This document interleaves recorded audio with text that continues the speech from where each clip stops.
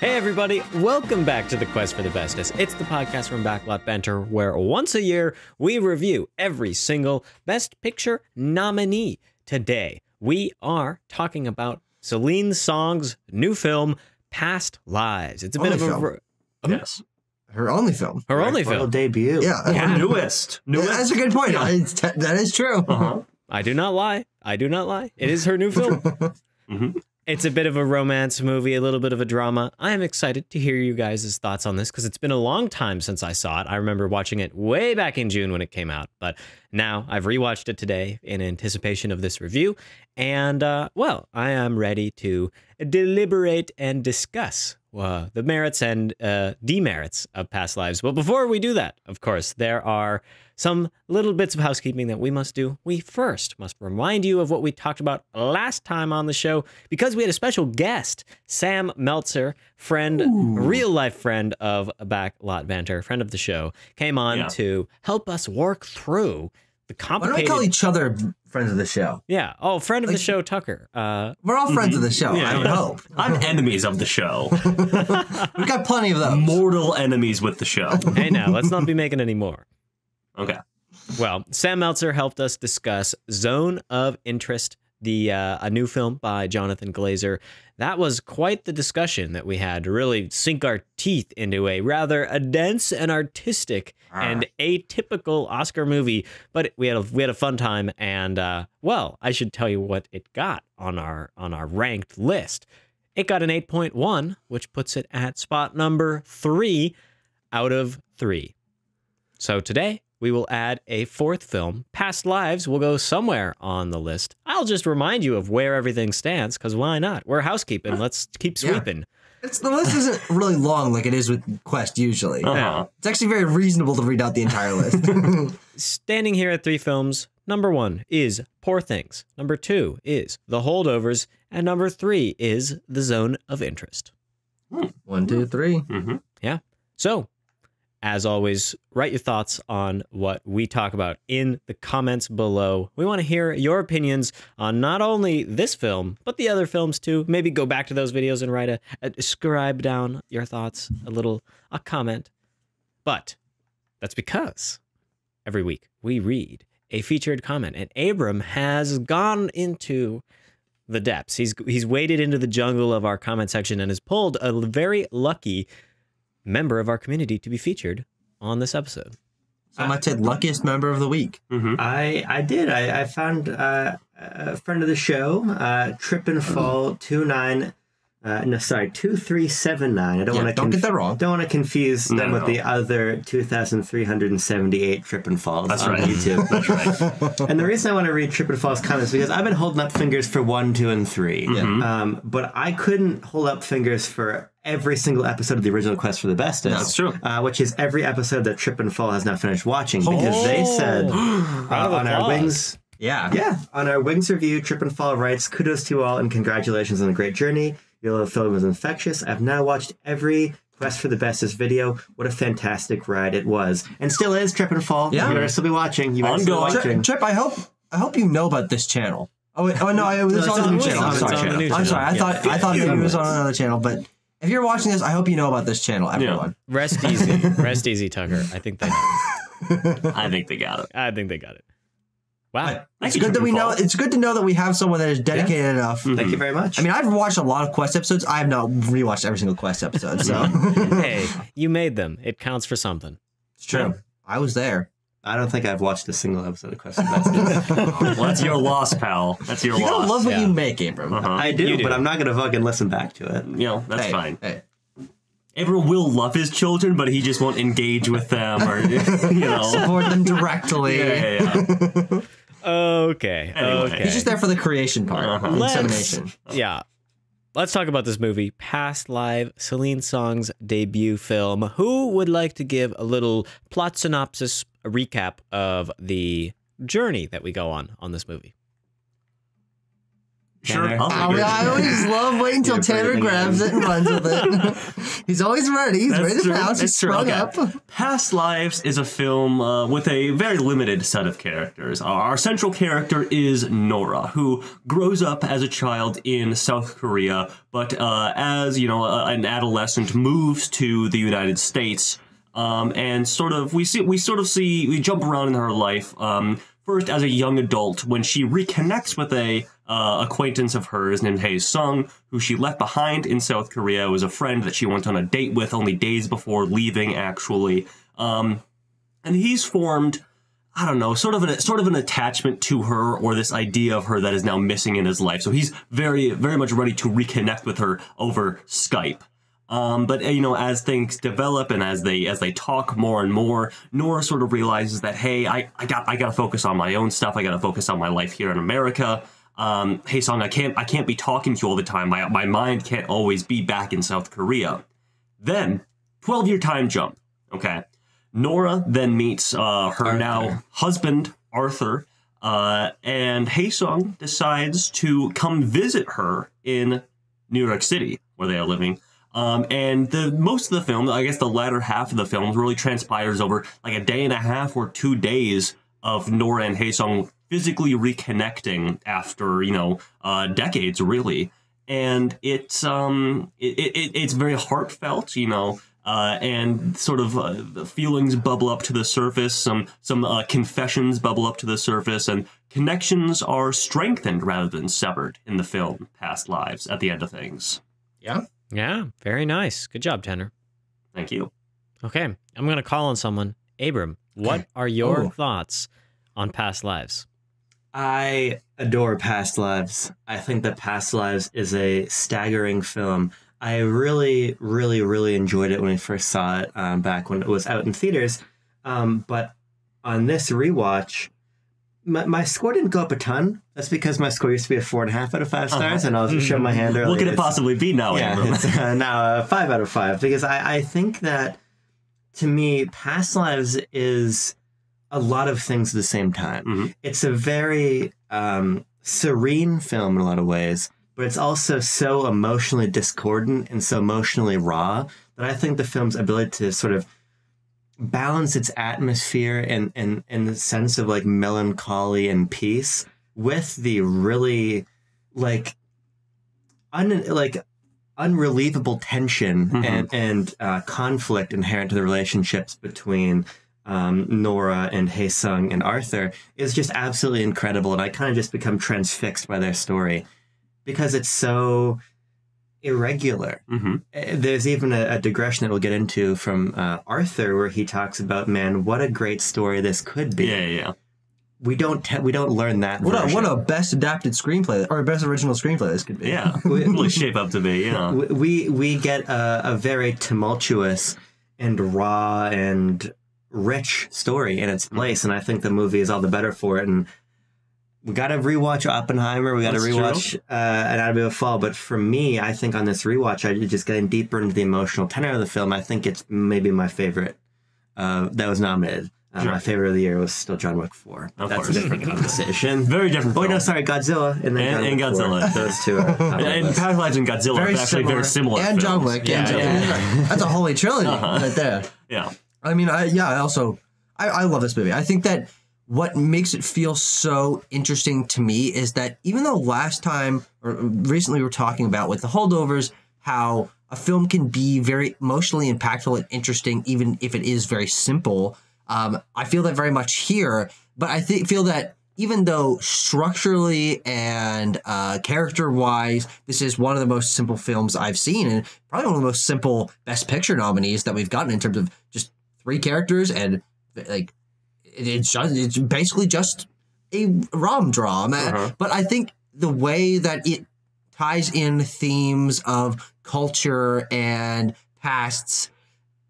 Lives. No, Oh. not that Oh, sorry. um, really, really sets us apart and, and, and gives its own flavor. And Celine Song's direction and the the pacing and the music and the sh- shot composition, the coloring, all of this gives it such a distinct vibe. And I think again, the other thing that sort of adds us again to I think the cultural canon of romance films. It is. It does feel very modern. I mean, in the way that You've Got Mail was an adaptation of The Shop Around the Corner Uh-huh. using email in the 90s uh, with Meg Ryan and Tom, and Tom Hanks. This feels like a, an actual modern romance story. It, I believe it's set in 2012, or, or part of it is, and then 2024, Takes I place in, guess, takes, 12 we're, years later. we're in the year of past yeah, that's crazy. I didn't realize because it's two, two 12 years gaps. Yeah, it takes Um, place in the future.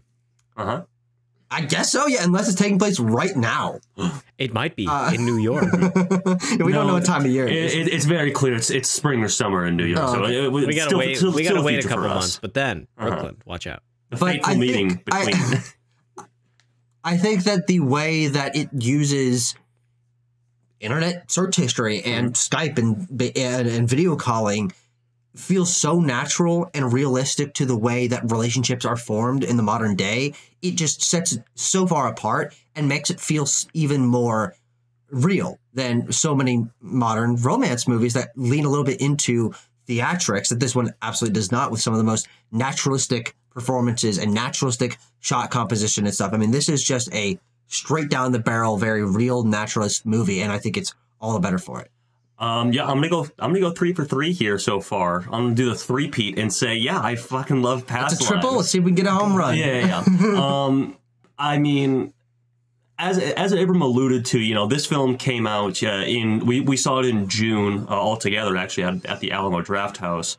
And then, you know, as more films came out, as the award season ramped up, you're like, oh yeah, I remember, I remember liking Past Lives. But it's not really until I rewatched it that I was like, God, this is th- there is something about it that grabs you, um, and it really is like a super stellar, not just like first written movie, but a first directed movie. It executes itself so well on on so many uh, so many levels. Um, and yeah, on the surface, it's it's quite simple. It you know it's three characters, it's a contemporary setting, so and so on and so forth. But like I, especially this time, found so much richness and um, so much legwork going on behind the scenes of every character yeah. uh, and, and and dialogue choices as sparse as they are in this film the dialogue especially for you know a romance film a drama the the, the dialogue is quite sparse because Celine Song decides to use everyone as a very intentional sort of um you know i guess sort of breath or breath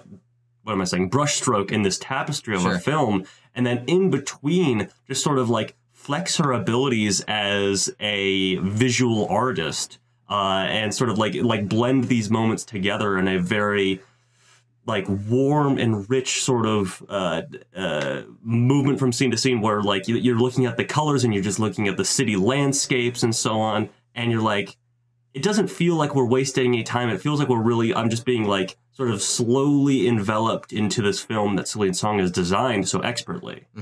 Hmm Yeah, I really enjoyed this film the first time I saw it, and I think that I actually have kind of weakened on it a little bit since then. This time I didn't enjoy it Oh, we as biffed much. the home run. I think that uh, this film is like a really is a really excellent first watch, but I really didn't get a whole lot the second time around because I felt kind of a a lack of tension. Knowing what's going to happen in this film like really Sure. spoils like the will they won't they of the romance, and so Good it was point, hard for yeah. me to get into this time around that like real central conflict of the film. But I do think that this is a a very well directed movie that is just it's nice and understated. It's nice and just like it's not trying to like wow you with the shots, but like the film is like a drizzly day. Mhm. it is like a drizzly day. But then you look and like the you know the clouds part for a moment and there's the shot in which they're they're saying goodbye to each other at the beginning of the film and there's a street that goes off in one direction and a stairway that goes off in the other direction and you're like hmm m- metaphor mayhaps Visual imagery. Hmm. Was this intentional? like like so so I um I think that there's a lot of stuff that, that I like. I think I really enjoy how how real. I, this is a very real film where characters do stuff that I'm like, that's yeah, that's how real life is. And mm-hmm. but I'm gonna be I'm gonna just be blunt with it that I just I just don't really like Hae Sung's character that much this time around. I see I I mm-hmm. have I just don't find him to have very many redeeming qualities and I think that some of the ways that he he performs which might add to the complication of this film that makes that me not liking him might actually add a little bit to but if he's supposed to be a, a a a kind of romantic, like real real charming male lead, he like almost isn't that to me. He be, he starts at that point, but then as the film goes on, and especially towards we get to the end, I lose my interest in wanting to see him succeed. He he, he gets like hmm. annoying to me a little bit. I'm being a little harsh, but it's like some of his. I don't know. I don't. I don't like him that much, even I- though. I, I, Yeah. I think that maybe the your your wish for the movie to be a more traditional romance movie is kind of what might be weighing down on some of the characterization and the progression because I agree. I don't. I like. I like his song. I think Yoo does a great job as an actor. He's very naturalistic, um, and he has his own mannerisms. But he's a he's a pretty straightforward character. Everything that we learn about him, though, and the reason why I think him being so straightforward and simple, and even though I don't love the character, uh, the reason that is all okay for me is because this is really just about how how Nora feels about all of it. I mean, that is that is the driving force of this movie. The conflict and the will they won't they is only in her head, really, and it's the way that she is weighing different romantic scenarios and what she feels in the moment and the looks on her face that even if I I, I like both actors and I think the characters are fine. I'm not head over heels in love with either of them, but mm-hmm. I like Nora so much and she's so well characterized and her thought process is so clear that even if his progression is okay, learning more about him, he becomes less of like the perfect imaginary guy. I think that's intentional and it's watching Nora sort of come to grips with that and realize where she has to balance like the life that she once wanted or might think is a ridiculous fantasy, but is achievable with the more realistic life that she set up for herself and the way that like her different dreams like sort of hit in midair like Mm-hmm. Yeah. partways through the film. There's it's a- all about her mindset. Yeah, I mean, I think that the central idea of this film is, I, I some some little logline description I saw was that it's it's about the choices that make up one's life, and that is to. Seems to me that that's what the this film is is trying to investigate and and see you know how movable those choices are and how and and where certain people like choose to go and so I think you're right. And and I actually like Nora's character quite a bit. She's very interesting, and I I feel like I know her when I'm watching the film. I know what she's gonna do, and I remember I'm thinking while while it's going on, I'm like, wow, she can't possibly leave her husband. I mean, they they seem like they love each other, and the film does a good job, I think, setting up a lot of these dynamics. We get this rich tapestry of emotion at the end of the film because we even though the film isn't very long we've actually spent a significant amount of time just setting up just laying our foundation so that hmm. we can get that them standing in silence waiting for the uber and they're just like looking at each other and there's these very complicated emotions going on on their faces but they're not saying anything i think that's a super powerful moment that this film like and it's because of it's at the end. It only works at the end of the film that they that we really get to, I guess, feel. It'd be a lot weirder if we started in medias res, but it was just them standing there looking at each other like, who are these fucking people? What's happening? yeah, Timo, um, I mean, I, I, I agree that I, especially this time, I was like really appreciative of Nora as a character and her characterization throughout the film, and how Celine Song writes this character from the from the outset. Um, because I find her to be a very emotionally mature character, very well put together, very intelligent, and ultimately like quite a a, a joyous character, really like a, mm-hmm. a, a beam of light like in a the film overall. character. Yeah, it's just Yeah, like exactly. an- a good person. It's a ch- breath of fresh air to get a good person as the main character of a of your movie. And th- this notion that we that, that we've been throwing around of a of this being a will they won't they kind of film. I mean, I don't think it is, or at the, at the very least, not in a traditional sense, because mm-hmm. I never feel as though there is a legitimate interest either on the part of Celine Song or the part of Nora as a character to like. She says this literally to Arthur. She's like, "Yeah, I'm gonna throw away my life and move to Korea with this guy." Like, I feel like that's never a legitimate interest, and more of the the film is far more concerned with like again, Tim, as we said, the the possibility of that being my life choice and the overwhelming notion, the existential notion of like, how different would my life be? Um, and of course, Hae Sung comes into it as uh, I find it interesting that Timo that you said that you don't really care for him, that you don't like him, that he might be annoying in a lot of ways because I've, I've actually seen this film three times. Um, I saw it the first time with you guys, second time in the theater with my girlfriend, and now this third time um, just for the rewatch of this. And especially the second time that I saw it, I was like, Hae Sung kind of like he's I, I, I guess I would I'd say I have an I had an uncharitable reading of him on my Mhm. second rewatch, and this time now I'm like I, I feel much I empathize a lot more with him. I still feel like he is a a misguided, an emotionally misguided character, but I empathize with the point that that is coming from a place of pretty severe depression from him, and like a, depre- a, a depressive episode that's kind of stemming from where he is in his life, and, and he, he's not at all happy with how his life shaped up. And ultimately, that's what the film is about: is kind of like making peace with the way that your life shaped up. Hmm. Um, Yeah, that's a good point. And Mhm. like being secure in those notions. And Yeah. the the, Huh. the moment at the end that you were talking about, Timo, is I think Nora the whole time being a very well put together character, very emotionally mature. It finally overwhelms her. Like the confrontation is over. Haesung is going back. This this whole notion of a of a different life that she could have had, and that's of course uh, intermingled with the cultural things Tucker was talking about about you moving to a completely different nation, about having to live a completely different life in, a, in on the other side of the world. It all overwhelms her in that moment, and that's why it's such a big emotional gut punch for me. That ending scene. Yeah. I, I I don't think that this movie is really a, a, a romance movie. Yeah. I, I don't really think that that's what Past Lives is about. I- I- I'm wait, gonna- wait, wait, wait, wait, wait, wait. Let me let me explain what I mean. Let me explain what I mean. Before instead of me maybe in four words, let me give you more than that. Uh-huh. Yeah, wait, I can only respond to you in four words. No, I said I only had given you four words. Oh, so I far, said- so let me give you more. It might have been a little more than that. But, yeah.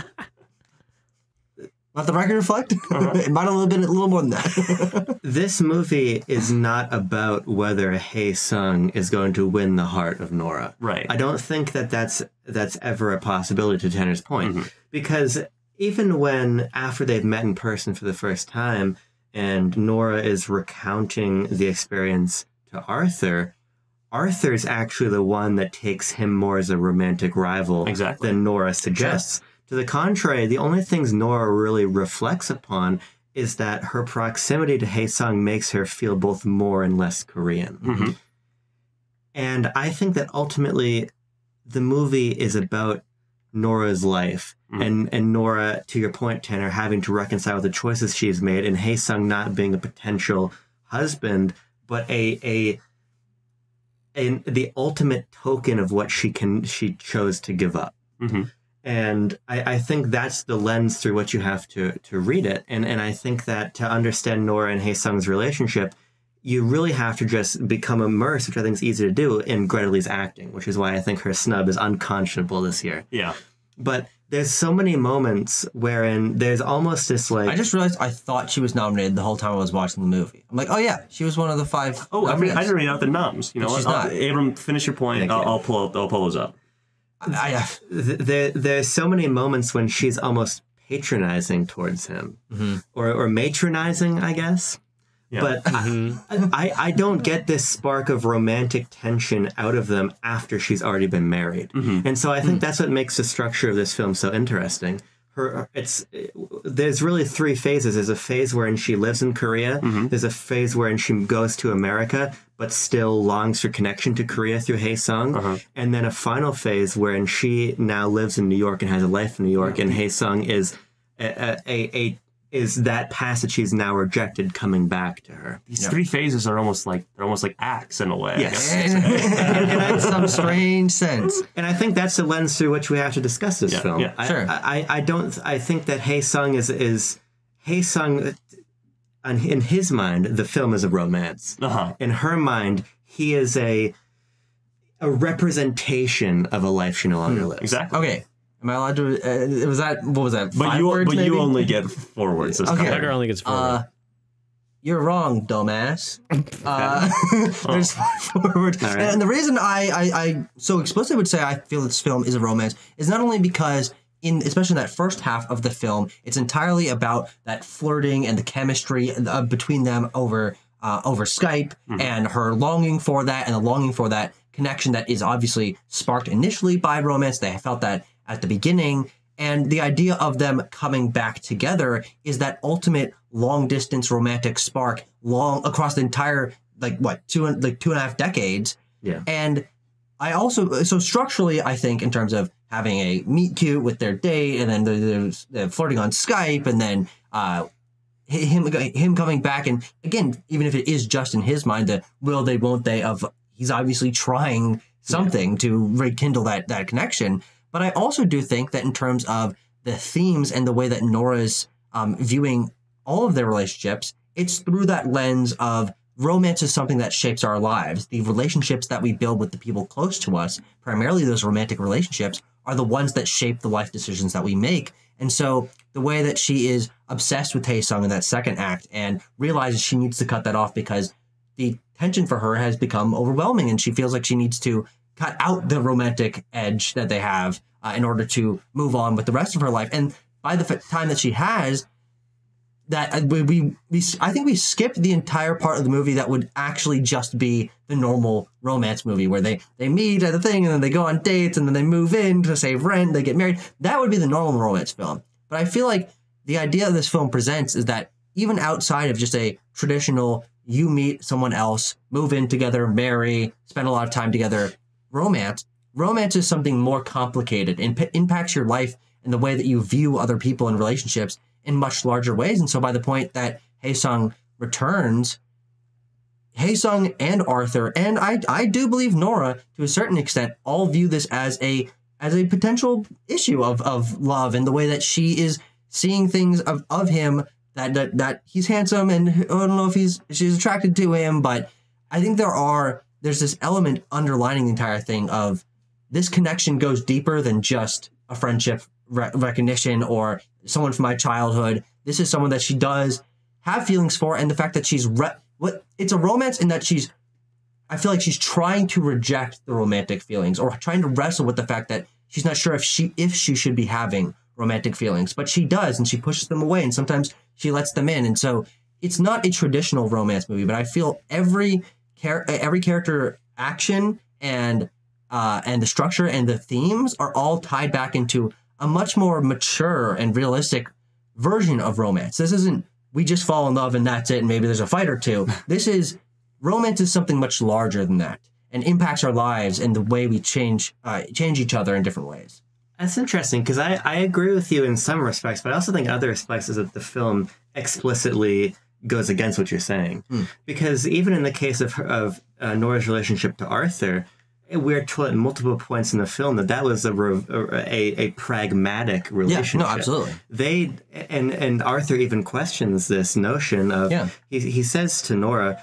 If there had been a different writer with you at the residency, Yeah. would you be lying with him mm-hmm. instead? Because he said, We read the same books, you needed a green card, and we ended up getting married. We even learned they accelerated their marriage Yeah. Mm-hmm. for the sake of that green card.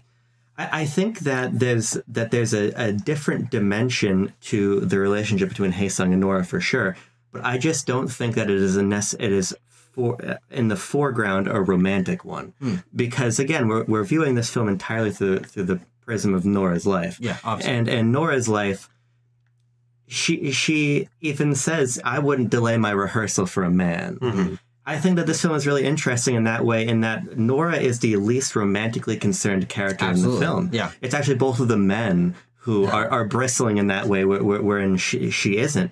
And even when she cuts off her relationship from Hae Sung in the second act of the film, this is maybe just a different reading, but she talks about how I'm wasting my time spending my days looking for a flight back to Seoul Yeah. it's not trying to you know it's not a way to get back to you now maybe course, maybe yeah. you want to say some kind of r- r- romantic subtext or whatever but i think that in a film that is primarily concerned with immigration and culture Hmm. through through these lenses the, he is a return to Seoul it's not a return to a soulmate Another to do a little, little play on words for you. Oh shit, that was awesome. mm-hmm. I, I do have to push back again though, because you bring up the sequence where they're in bed and they're talking about their Yeah. their past and how what we know of their relationship does seem like it isn't it, it's it's far from a traditional Yeah. what you would expect to be a romance. But again, I I need to return to my idea of this not being a romance film in the way that we know romance film to be, but a much more mature and realistic understanding of what romance is in real life and in their situation. It's not literally they were just soulmates and they want to spend all their time together. I mean, we know they have feelings for each other, but it's a little more complicated. It is a much more mature understanding of this is sometimes what romance is. This is not my soulmate and we fell in love and that was it. It's this was a situation and they have developed feelings for each other. They had sparks uh, of, of connection at the beginning and that and that still is romance though. And I think that even when the film is saying we need to push away the romance to move on to other parts of our lives, I still think that is romance romance as the push, as the Sure. uh, igniting force that i- when she's pushing back against it, it's it's still there. It's that decision that changes everything.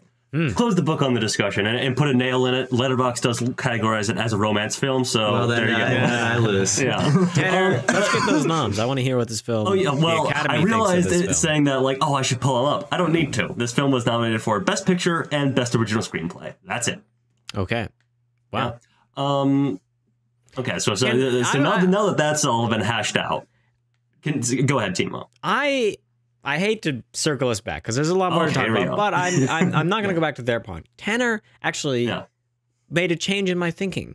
I was talking about how I don't like Hae Sung's character, and I was like, okay, well, where do- where is it that I, let's let's dive, let's go a little deeper into that. I'm in a Mhm. am in a therapy mood, I, I shall say. Yeah. Yeah. Um, I only dislike his character in the third act, and your idea, Tanner, that he is undergoing a a radically different mental state than Nora is, I think is actually something that I wasn't really considering before, and that his like sadness and and kind of his inability to get over Nora that that there is Yeah. an an a missed connection there that he still seeks and that Nora is that other the other side the, who is who is confident and settled in her romantic situation. The way that i see Hae Sung at the at the end of the film is this very like he's agitated and nervous and unconfident um kind of a, a a not a very likable guy but i'm now going to twist that from a i don't i am unhappy about this to i think that's a quite an interesting turn for the character to take and one that supports the theses that you guys are making about the maturity of the romance in this film that that by having a character who acts i guess in a, in, a, in an equally realistic but a little maybe less self-assured and a less mature way it really i think highlights and exemplifies nora's own maturity Mhm. in a in a And very maturity of the writing. yeah, and uh, exactly a maturity of the writing to to be able to kind of pull that out. And I'm like, I actually don't dislike him at all in the second act, and in the first act, he's a kid, so he's just you know he's kind of you Yeah. know, I don't know. Uh-huh. I hate him the most and that one, obviously. I hate child actors. It's funny that we, we talk about these acts, but it's really like uh one of the first half, two thirds of the first half, and then the second half. Yeah, yeah, yeah. That's the three act structure. yeah, Third of, a third of the first half. A second third of the first half. no, two thirds of the first half. I- Okay, I, see, agree oh, I see what you mean. Two with that, thirds the yes. first. they I progressively gotcha. get longer, is my point. I gotcha. Okay, I three got, I got what you're thirds of the whole movie. There's, Correct. is the whole movie. Yes. One movie. we did it. There's a really interesting moment uh, with Hae Sung Mm-hmm. before he goes to New York, um, where he's at the soju bar with his friends, Mhm. and one of his friends asks, um, "You going back to New See York her." to see Yeah. her?" And he says, Oh, it's vacation. Uh, what? and then his He went, you, you. yeah, and, and his friend says, "Why are you pretending to not know who I'm talking about?" Uh-huh. And I think that that's totally right. There is this really interesting sense of inadequacy in the character of Hae Sung. yeah. Um, Yeah, and he And vocalizes it in a different sense at a different Yeah. part of the movie. he he's not confident in himself to go to New York to win Nora back on any explicit level. But he also does he also clearly doesn't think highly of himself as we learn about his notion of marriage and what he must do as an only son Yeah. to marry. But I think this again goes back to why I view this film, I think principally through the, the lens of like culture and cultural differences. Because I find that that particular notion to be really interesting because Nora re- rejects the, the, this this uh, archetypally Korean way of understanding marriage. So I, I, I think that Hae Sung is this sort of interesting, like emotionally repressed, and as you're saying, depressed, but I would say just sort of almost self-loathing character in the Yeah. film.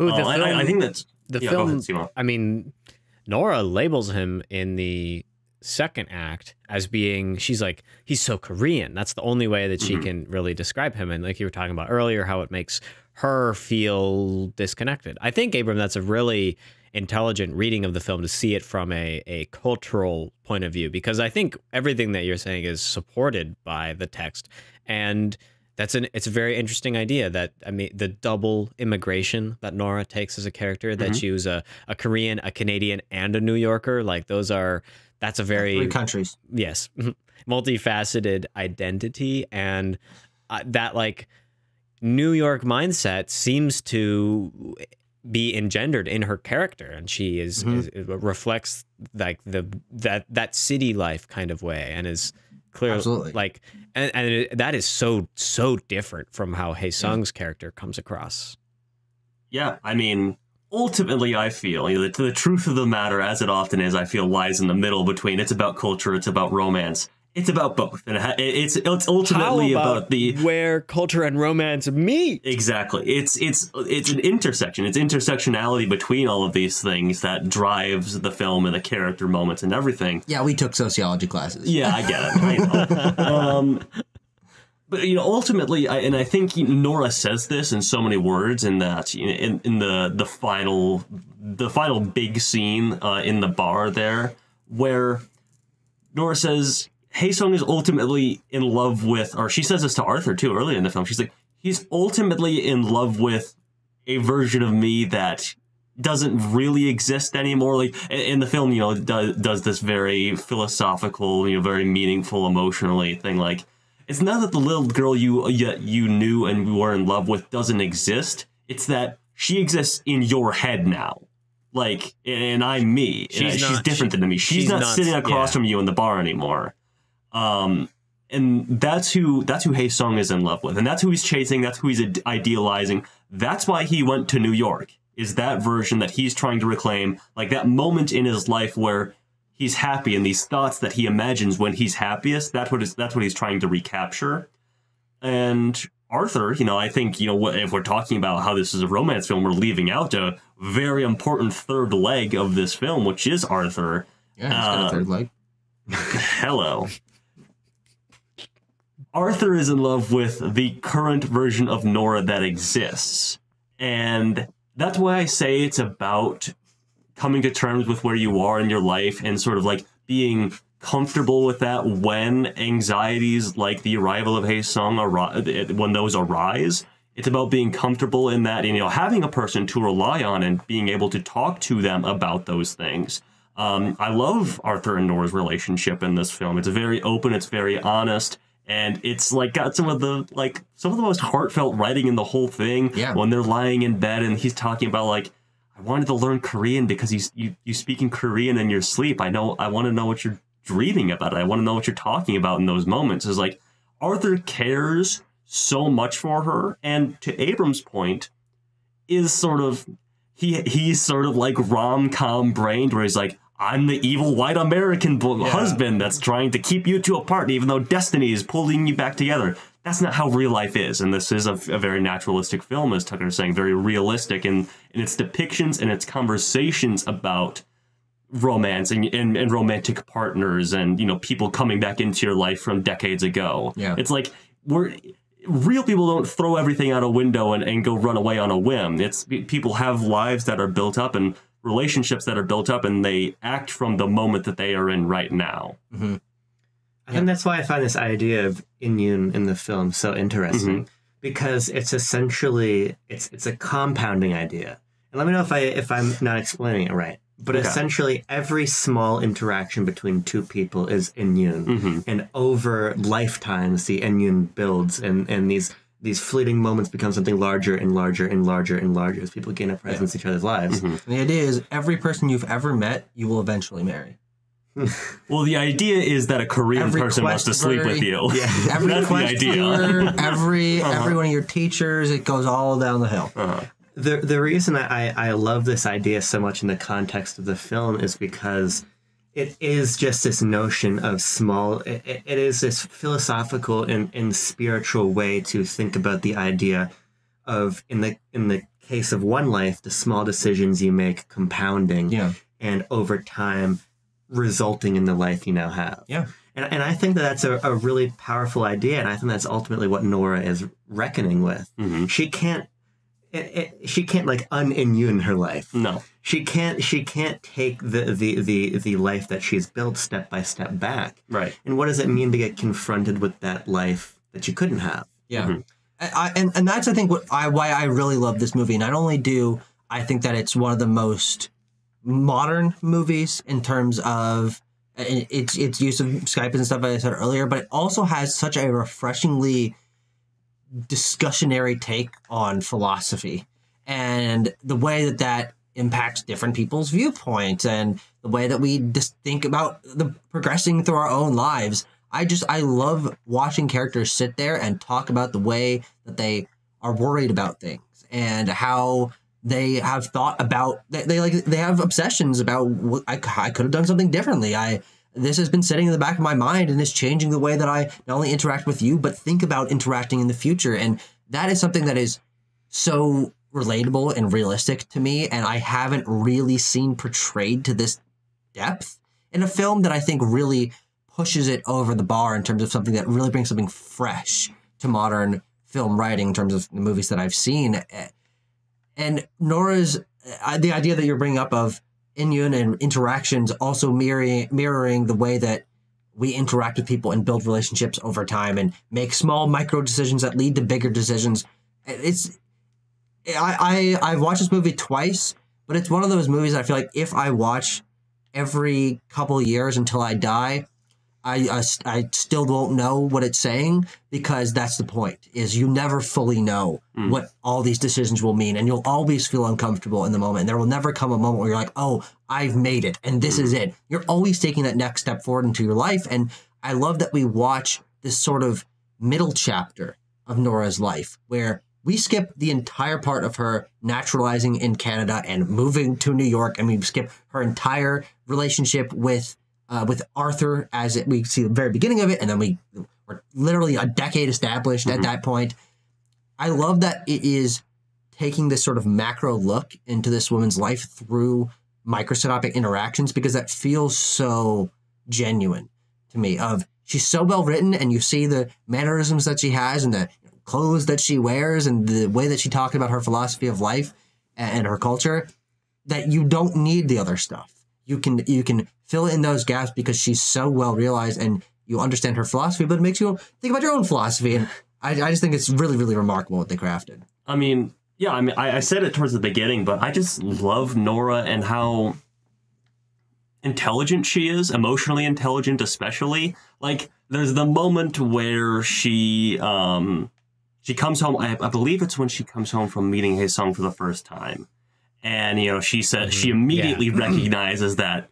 You, Arthur, you're right. He came here to see me. Like Yeah. uh, Hae Sung never explicitly says that, but it's blatantly evident And I through, don't think through Arthur ever asks that on No, screen. and he doesn't. yeah. Um, I mean, and she also like, but she she also has to like diffuse his insecurities about it when he's asking like, well. Do you find him attractive? And she's like, I'm not gonna play this game. I guess so. I mean, I'm gonna be honest with you in the, right now.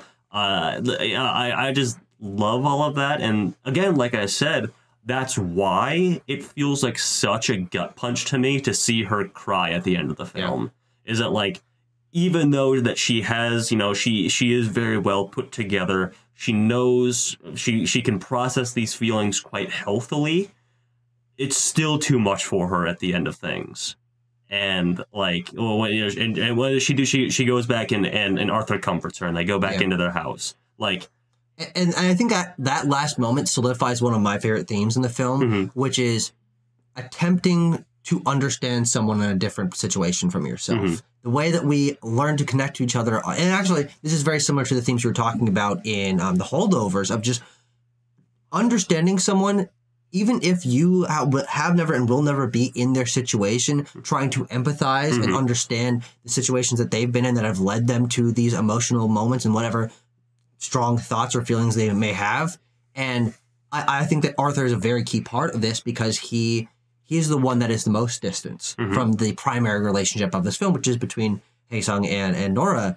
And watching him discuss and be very, very, very open of the fact that I don't know how I feel about this, and I don't know how what you feel about this, and I don't know this guy, Uh-huh. and and I don't know if I'll ever be okay with this, but we can just do the best we can in the moment, and then with the moment where she comes and cries on his shoulder, it signifies so much because it signifies that he cares to, about her on such a deep level that he recognized something was wrong without he her, her even coming to tell him. Mhm. He came down the stairs before she came up. Mhm. He he walks over to her as as she's like sort of slumped over, and then he holds her, and and you can, I, at least I can hear the thoughts going on in his head Mhm. in that moment of.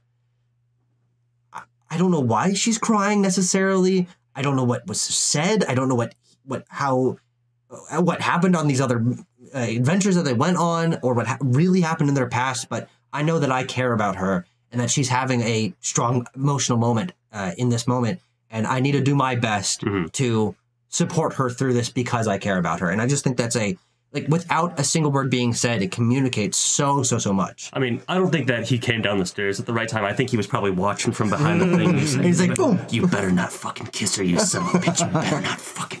I think I think that Arthur is a, a, a beautiful character in, in the narrative, and I want to build off the idea you have, Tucker, of of um, finding an, an empathy, because I, I think that when we get into this third phase of the film, there's this idea of uh, loving in, in like a non-possessive way. Mhm. And there's a really interesting line shared and a moment shared between Hae Sung and Arthur when um, when Nora has gone to the bathroom in the bar. Mhm. And Arthur says to Hae Sung, I'm glad you came and you made the right choice. Yeah.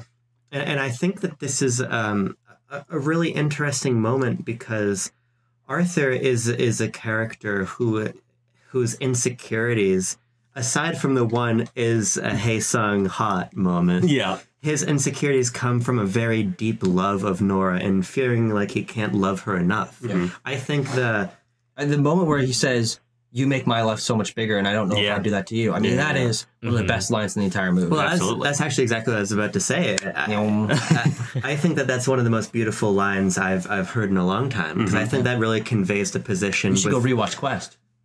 I, I hear a I lot of beautiful lines. I think that that um, what was I going to say? Um, Beautiful line. It's a beautiful line that encapsulates the way in which he he moves through the narrative, Mhm.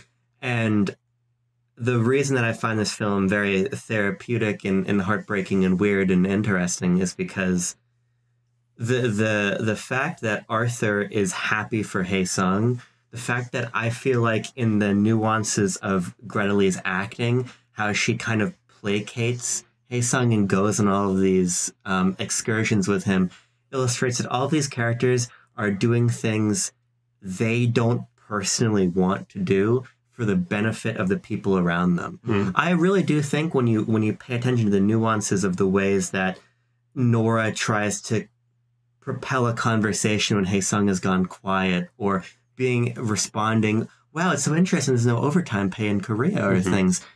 She is being something for him that she doesn't want to be. And I think she affirms that when in the last moment before Hae Sung leaves in a taxi, he says, in our what do you think we are in our next life together? Mhm. Where wherein he's clearly looking for a, a reaffirmation that the, the romance that he came here for might exist at some. And instead of giving him that, she says, "I don't know," which I think is her uh, which I think is her tacitly saying what has been on her face this whole time, which is, "It's not here anymore." Yeah. And I think that Arthur and her being things they don't want to be for for Hae Sung is a really beautiful part of the film. Mhm.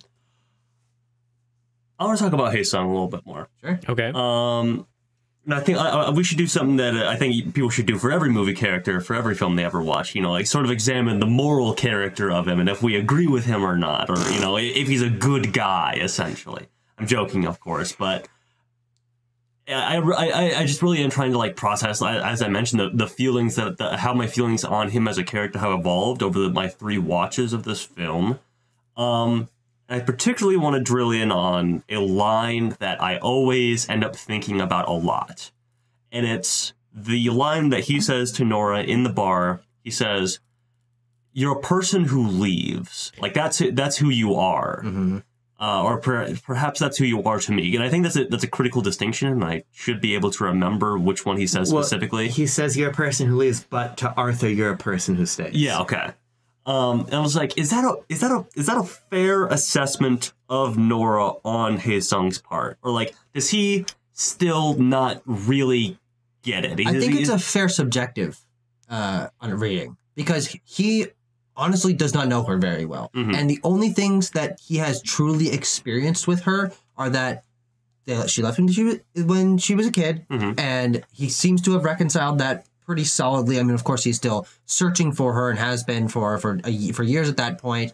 Um, but she, he's like, yeah, okay, you, you needed to do that. It, like this, I can see this is how the person that you became. Mhm. But then the second thing is that they're they're having a pretty good long distance relationship or whatever through Skype, and then she's like, "No, we need to stop." And so his two major interactions with her are leaving, and so to him, she's a person that's always on the move and always getting out, uh, and that's because he does not actually know her that well. Uh-huh. Um, yeah, and that's that's kind of clear about about him as well, and I think that's again like why I said it was so interesting that to him he's still chasing the idealized version. Like he doesn't he doesn't really know her as she is right now. Mm-hmm. Ultimately, Yeah, because I feel like he, I feel like he did when they spent presumably months like talking to each other Yeah. over Skype, like multiple times a day. I just, I, in a quick moment, I saw like their Skype log and it was like sometimes multiple calls in a day. I'm like, that's.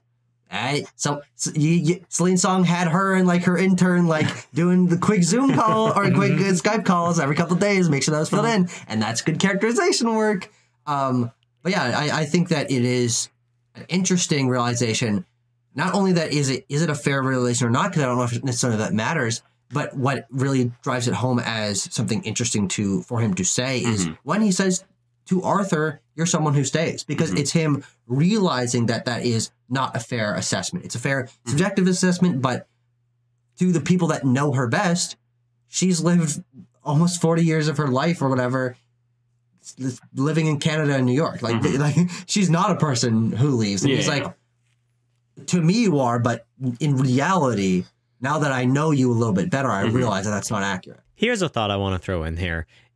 Given it. given that Nora was actually quite young when she left, did did she this film was about the choices that one makes of their life that and the choices that build up to become a, a life. The central choice to immigrate away from Korea was not hers, as presumably. It's her parents' choice. And Of then, course it wasn't. Yeah. no, I think she was real. She she was filled out the, rooting out the passport paperwork and everything. and- yeah. Actually, we explicitly see her not doing that because she's sitting on the floor at the airport while her parents are filling it out. so I think that that's kind of a it's like a complication to this theme that says that even even the choices that are just made, some of them you don't even get to make about your own life, and that leads you mm-hmm. down different paths. So I, I Because I think it's more just the choices that impact your life. I don't. I mm-hmm. don't know if I ever necessarily specified that it was the choices that you make. I, I might have said that, and that may have been a little faux pas. no, I part. don't not I'm uh, not accusing nobody, but I think it's a really interesting point you raised, Timo, because ultimately that is the whole character of Hae Sung. His, kit his entire life is is defined by the choice that somebody else made. right. And I think that that's really interesting. And there's this sort of interesting phenomenon that I've in my own life has noticed as of late, wherein now that we've graduated college, there's Mhm. people you, you talk to from college that you still talk to about life and things in the present. Mhm. But there's some people you talk to and all you have to talk about anymore is what you guys did together at school. Right.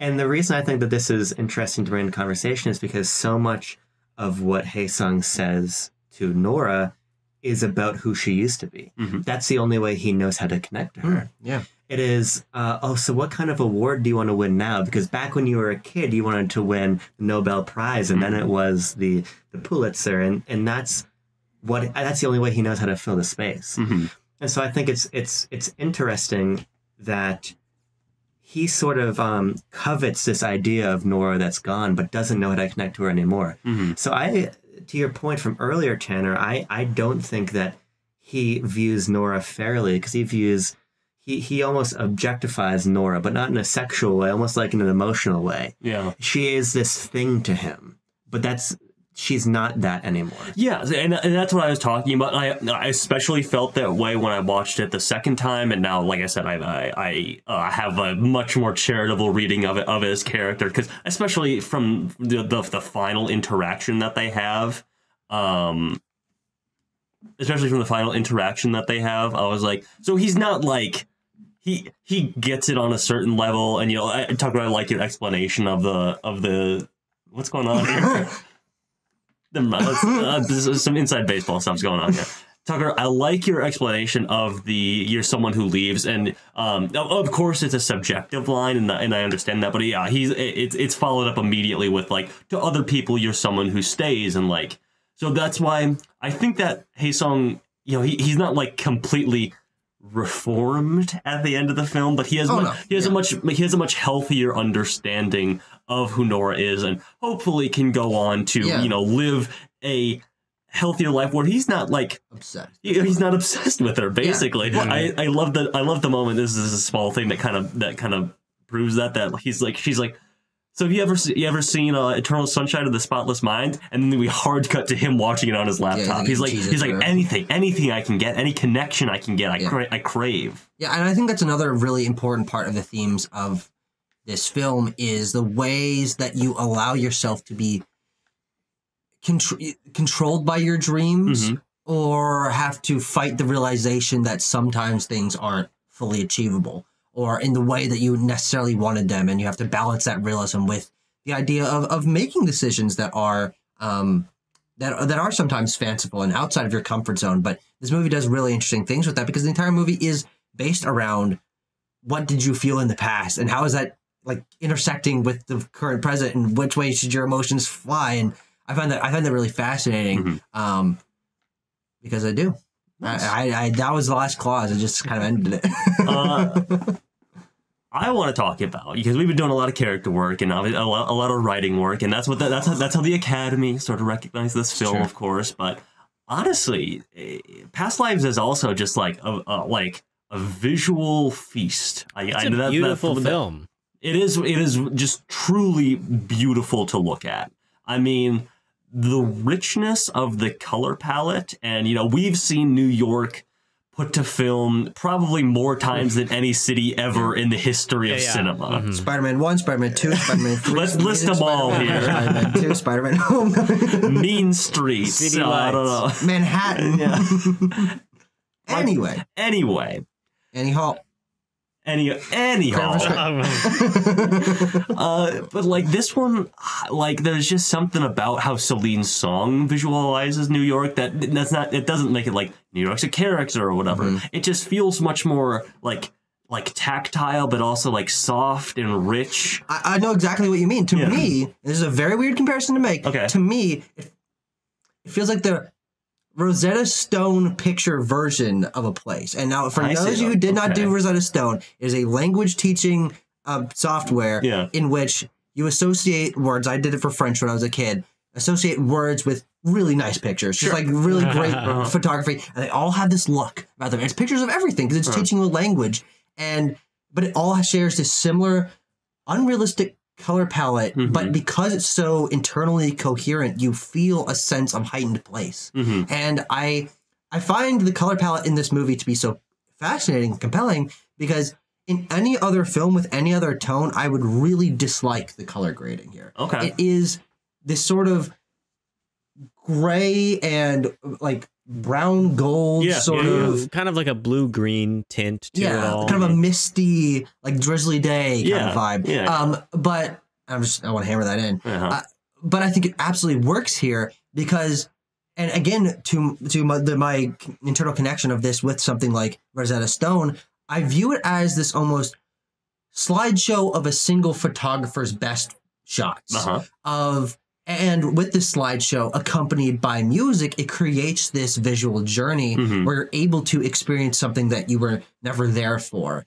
And I, I, I, think it is is the color grading, the cinematography in terms of where the camera is placed in very interesting places, and I think especially the insert shots are really what contributes Mhm. to this of just a pond or a tree Mhm. or a windowsill or something than with one of the most chill ass scores Yeah. to ever be put to Yeah, film. yeah. I mean, it is it is absolutely fucking mesmerizing. And and it reminds me of my favorite uh, more um, ambient scores that for me personally come from video games primarily. Mhm. Uh, games like Edith Finch and Firewatch and Abzu, which are some of my favorite games because they create a vibe and an atmosphere through visual, unique visuals and music that you can just exist in. And, im- like I can sit here and imagine the light piano and Mhm. clarinet that is creating this soft score that's sort of enveloping everything.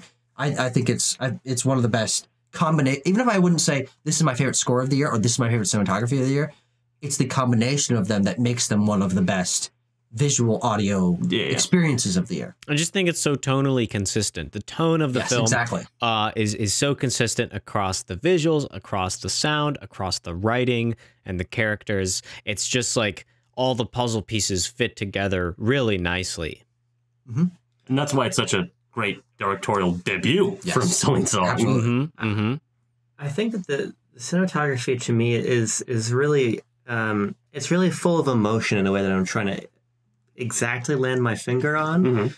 But I think that there's a really interesting amount of shots in this film that are framing our subject in a way that they are obscured or placed in the background or in some way cordoned off into a part of the frame. I, I think my favorite example is when Hae Sung arrives at his hotel in New York So let's say that one. Yeah. we see w- w- the camera is inside the lobby, so we're looking through um, the the decorations of the lobby through the door of the building. Well, not even And- that. It's like on the ceiling of the lobby. So like the top half of the frame is covered with Yeah. ceiling and the fucking light fixtures or Mhm. whatever. Yeah, and then you're looking through the doors, and then you're looking out to the taxi, then you're seeing part of Hae Sung exit, and then you see part of him reach into the trunk.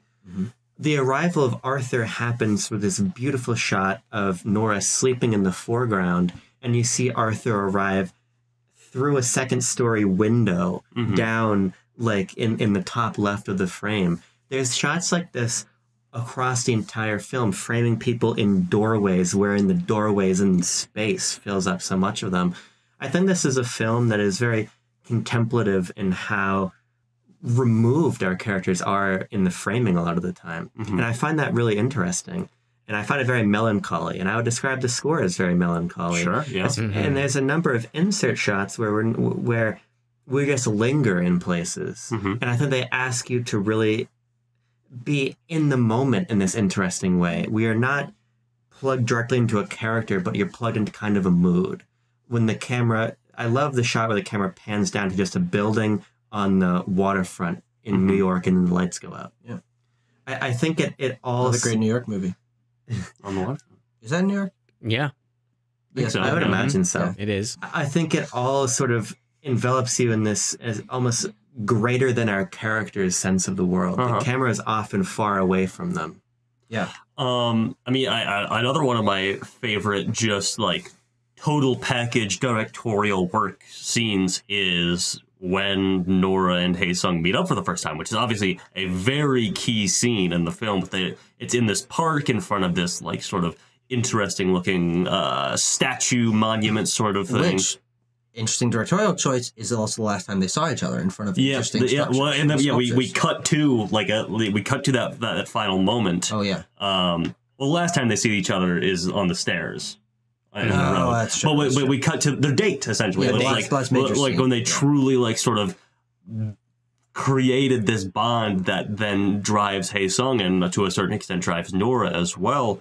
Um, and then just the, the soundscape as well. There's the there's the wind in the trees, and you- you're looking at Nora, and you look back at Hae Sung, and the looks on their faces. They're not really saying anything. They just take in the physical presence of each other for a while. And they do a lot of that. There's a lot of stare. There's a lot of staring going on between these Yeah, two yeah. characters. A lot of tension. A lot of a lot of things said that aren't exactly said in dialogue between these two characters. And in that way, I, I also love the you know the facial performances of Yeah. of uh, of Teo Yoo and especially Greta Lee. Yeah. But the soundscape of, of that moment of the city as it uh, sort of moves and, and bustles, but it doesn't feel overwhelming. It just blends very naturally Yeah, with the very- soft, it's very flowy chill. score. Yeah. Yeah, really it- it's- chill it's- mix. It's Maybe really the chillest New York has ever been. Well, absolutely, and, I, and I, I think that that is driven home by the sound design of. There's this moment that the sound design of New York City, like they have the window open or whatever, or they're Mhm. they're somewhere in New York City, and it's wind and it's like soft honking in the background, Mhm. people you know moving around, um, and then it hard cuts to either silence or much quieter sound design, and I don't remember where the cut is, but it made me realize that they have created a audio version of New York that is so much less obtrusive than actual New York, especially as someone who has interviewed many people that are in New York and Uh-huh. living in New York apartments. You cannot escape from it, even if your Uh, window is closed. so you, you might hear in the last episode, depending how good uh, the uh, the uh, sound mixing is by our very own uh, engineer Timo Timo Nelson. Nelson. That'll be really good. Um, Sam Meltzer lives in New York City, and Yeah. oftentimes when we're recording with him, I was like, okay, there's a, there goes an, another Yeah, fire yeah. truck but or it's something. so inescapable. And I think in this movie, it becomes a bed yeah, that feels inviting. It feels alive and bustling, but not like it's like hammered on your window. Or uh, like not creeping- jackhammer. Yeah, No, there's, I, there's not a jackhammer sound. in not a entire movie. jackhammer in earshot. I want to actually, I. I want to actually invert that a little bit. Okay. Because to go back to the scene you're mentioning, when they meet in front of the monolith, hmm the camera pans It's between 2001. They're not very close together, or, or sorry, they are fairly close together in, in literal space, Uh-huh. but they don't seem very close together because the camera pans for Yeah, slowly for a long time between them. Yeah. I think a lot of this film works again if we're reading this, and I think we must, even though it's hard for us to as people who aren't immigrants, hmm read it as a, a text in some way about leaving your ho- your home and arriving in a new place. Mhm. I think this film plays on space a lot in ways that make our characters not feel comfortable in the frame, Mhm. which goes back to the shots you were mentioning before, but it also goes back to how slowly the camera's moving between them, making space feel odd.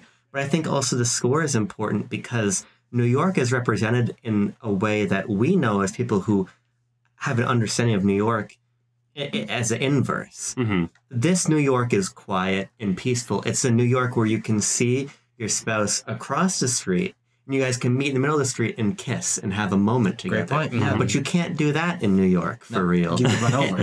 A- and so this Oh, I'm, I'm I'm, walking- I'm kissing, I'm kissing here. here. Yeah. I walked into that one. Yeah, But yeah, I think that there I think that there is this sense of cultural displacement also. Uh-huh. but through an irregular lens wherein the alien or foreign feeling here is not one of of heightened stress or mm-hmm. heightened danger but it's of an almost eerie melancholy in a place where that melancholy usually doesn't exist That's one of the most analytical things we've ever said on Quest.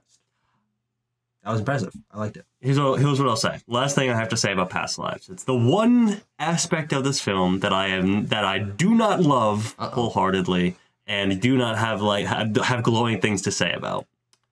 It's the opening scene. Sure. The scene where we, we start, we we do kind of start in medias res. We do, kinda, yeah. uh, where- where where we are in the shoes, in the eyes of another couple or another peop group of people who are to, who are together, looking across the bar at Hae Sung, Arthur, and Nora. Mm-hmm. And you know, with the the dialogue is like, who do you think they are to each other? And there's speculation about this. I'm like, to to echo something that we to speaking speaking of analyzing things, and to echo some things that other people have said uh, about various films uh, uh, as we review the nominees is like, I like I get it, like like, and it, it to me it's just a little it's just a little obvious to open it up on that. It's just a little bit too like oh who who are the who are these people sitting across the bar? Who could these people possibly be to each other? Oh. i don't oh, know. Oh, I shall hope- we explore their story a little bit In the next Like- hour and 40 minutes, I hope I mm-hmm. find out. yeah yeah, It- it's just a little too mm-hmm. like mm. and Yeah. here's where and here's where this movie starts for me. Although And I, I, I, agree with how on nose it is, and Yeah. and when you read it as like, oh, Humpty Doo, like, oh, this is sure going to be interesting. I, I do think that you're totally right that it feels at odds with the rest of the film, but I also do think that it, it's fitting as an introduction because it is Yeah. coming from the outsider's lens as we are as viewers, Yeah. looking into the life of people that for the majority of the audience are are very different from them artists that live in New York that Mm-hmm. get married because they're they need their green card that have a, a long lost lover that is skyping in Mm-hmm. from Korea. That's not a situation that any of us are ever going to be in, or not anytime soon, at Mm-hmm. least. I I hope we all eventually. Speak for yourself. someday. Well, I, I hope, we, hard. well, I hope we all go back to Skype Yeah. as well. Screw this There's- Discord thing. yeah. Um, but I think that the way that the film starts of trying to understand someone else's life yeah, yeah. outside of really knowing them Mhm. is is a mirror of the greater themes of the film. This unseen couple, uh, friends, whoever it doesn't really matter, dis- discussing what do we think they're up to and reading into their life farther than they should. That is where most of the conflict from this movie comes in, in not actually knowing someone, but making assumptions about them Mhm. and and being distant from them, and the fact that we're seeing them across the bar and not seeing the person who's talking, I think all contributes to this feeling of this movie's going to be about about making assumptions about other people and and especially because they're discuss- they're talking about what choices do we think led to this who do we Mhm. think they are to each other and that's the kind of relationship analysis that less on the nose than this and certainly through the lens of Uh-huh. the actual developed characters but it is what the movie is actually about. And so i think i think it's a unique way to open it but i agree it's not it's not my favorite part of the movie Yeah. but Yeah. I'll just echo you two knuckleheads on the zone of interest review and say, I get it. You don't need it in there. I get it. I get it. I, I I agree with I agree with Tanner. Ultimately, Yeah. I think it's like, it's fine. Yeah, Whatever. But I think the reason it feels particularly heavy-handed is because there's the, the sort of voice of the outsider, as we can call it, I guess, mm-hmm. and isn't present nowhere else in the mm-hmm. film. So as a kind of way in, whatever. yeah. I, I- I don't I agree with you. I don't think it's especially strong. Mm-hmm. Um, but also I uh, I'm still giving the movie a ten. So whatever. Well, I'm, I'm taking. I'm going to take four points off my score just because, because I just I know. okay. Let's put some numbers in there. I'll say that there. I'll say that it's it, it's like a guiding question. It's like when you get that easy easy reading guide from your teacher or whatever back in high school, and then and it would give you all the answers in the questions. Like, yeah, Nobody else put in a score yet. That's okay. It's okay. No, Hang I'm on. nobody else put in. Stop the count. stop the Stop the- oh we count. just wanted to Oh, I see. uh, yeah. Let's do. Let's do that. Let's do Stop the that. count. Okay. Ready? Three, I- two, I gotta one. swear. Go. stole your job We have a score, and what do you know? It is going to the top. Past Lives got a 9.3, which is going to be better than anything else on the list. So we have a new number one for 2024. Wow. Yeah. Nice. Congratulations. It's because everyone. it's the first one that hasn't been by someone given a seven or, or an, eight, an eight or lower. Yes. Wow, interesting. The point breakdown being I gave the film an 8.5, Tanner gave it a 9.2, Tucker gave it a 9.6, and as we already know, Abram gave it a oh. 10.0. Wait, Very how'd know nice. that? Wait a second. Hold on. Hold Wait, on. It's like, are you some kind of mind reader, Timo? I was, what the I was hell? going to say telepathy. You shouldn't make assumptions about his life. Yeah, what's going on with you, Timo? We just talked about this for a fucking hour and 15 minutes. Now these guys have. Tanner's been saying he's got a number of tens in store. Yeah. There's maybe maybe two other tens. Okay, that's maybe interesting. two, but probably zero. Probably zero. Okay, maybe two, probably zero. There's two that could. okay. Because here's the way I think about it. Right, If I give, if I give the movie a, a five out of five on Letterboxd, it just uh-huh. gets a ten. Yeah, I mean, Yeah. I, I feel the same way. That's true. Yeah. Yeah. That that, numer- That, that checks makes out. sense. That checks out. Yeah, but technically, like a four and a half is a nine. Yeah, but uh, there's you- a, I know what you mean, Abram. Yeah. I thought about this as Yeah. well. I was like, so I so a four and a half can go anywhere from, from anywhere from a nine to a nine point nine, and then a five out of five is just a ten. yeah. I don't know. It ultimately, do, I'll be honest. I've said I say this over and over again in Quest. I think about my score thirty seconds before I put it in. Yeah. that's fair. I make I make no promises about what my scores will be or how many tens I'm holding in my back pocket. I only make the scores up Hmm. while I'm I typing want to them get a in. look in those pockets. Mm, See all those scores. yeah. Okay. All right. Well, what are we gonna watch next week? We are going to watch. Are you just coming up with it now? no, I've thought about it. No, no we, I was trying to think of a way to like lead into it in this sort of fanciful way. No, we're just, we're gonna watch American Fiction. Cool. If Okay. okay, if that's cool with you guys. Yeah. I, should, I gotta say I don't really consult you guys. no, you know, you just kind of decide. Yeah. You, know, Oh, you got to do them all anyway. Uh, We, we got to go back to the theater for this one, right? yes. 'Cause it's not streaming yet. No. Not streaming Is it yet. still showing? yes, it is. Okay. There's plenty of show times. Okay. Yeah. It's a great movie. Yeah. Abram, have you seen it? We all have. We saw it. too. Yeah. Have you seen it, Timo? I have not. It'll be. I'll be watching Okay, there it you go. For the first and only time. Well, hopefully there's a show timer on Timo. There is. Otherwise, we'll Only time you're ever gonna watch your entire life? Probably. Jesus. yeah, yeah. Otherwise, we'll have to change it. But you know, we're gonna watch American Fiction. Yeah, we'll we'll be watching American Fiction. I'm excited. I've seen the trailer for this one. Um, so yeah, and it's it's in theaters all over Austin. It'll be no problem. The last the last one we have to watch in theaters. It's a very Austin core movie. Not the last one we're going to watch in theaters, though. Oh, that's true. That's true. Is it the Don't Look Up of this year? No. What? No, it's not. Um, Don't worry. It's the closest of I don't. I, listen, I don't want to show my hand early and get. I, I want to give any thoughts on the film, but It's- we'll find out.